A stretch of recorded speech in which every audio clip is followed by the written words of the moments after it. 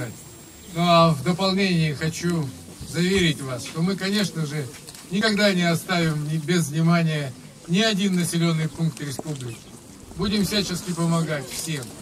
Ну, и в дополнение хочу сказать, что в этом году мы все-таки вот одну основную проблему прикумчан, газопровод, вот который латаем, латаем, латаем.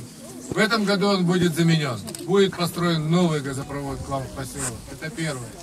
Школа ваша получит новый школьный автобус для того, чтобы детишек возить в город, на елку, на праздники.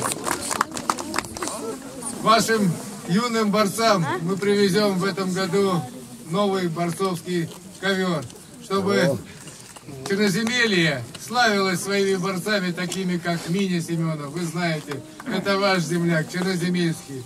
Олимпийский призер. Пусть и среди вас, те, кто подрастают, кто знает, тоже в будущем вырастут чемпионы мира, России, олимпийские призеры.